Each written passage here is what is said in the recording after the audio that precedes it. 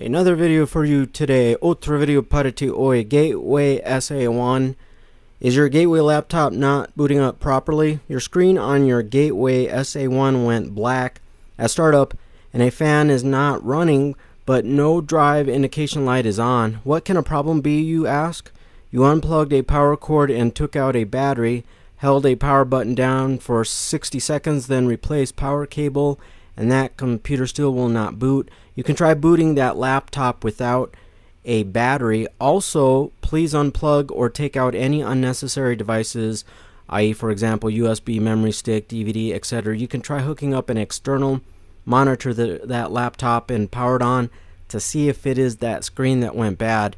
Try taking a hard drive out and then reseating it. You can try blowing out any dust with canned air or air compressor out of a system fan.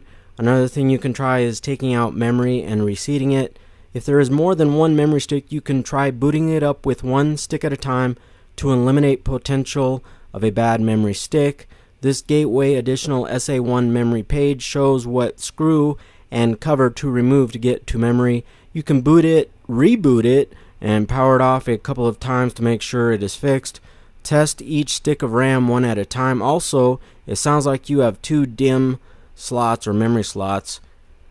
Test each memory slot at a time, one at a time. If both memory sticks work in slot A or DIMM1, for example, then it's not bad memory and is a faulty memory slot. If only one stick works in slot A or DIMM1, then one of those memory sticks is bad. You want to isolate whether or not you have a bad memory stick or bad memory slot. If you have a bad memory stick, then you will want to buy some kind of memory replacement. If it is a bad memory slot, then you will only be able to use one memory slot. What you could do is buy another single piece of random access memory that is larger, i.e., for example, 2 gig instead of 512 megabytes.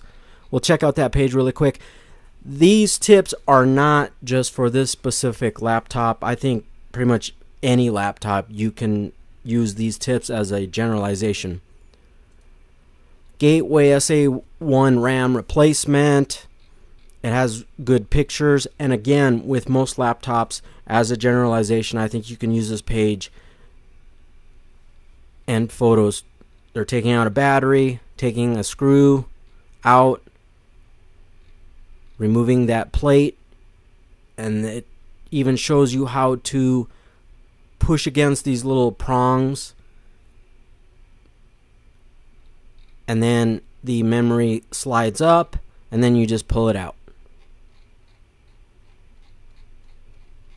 You can always browse to anetcomputers.com for the possible potential tips, information, and tricks to help you solve your most common computer problem. Thanks you for listening. Adios.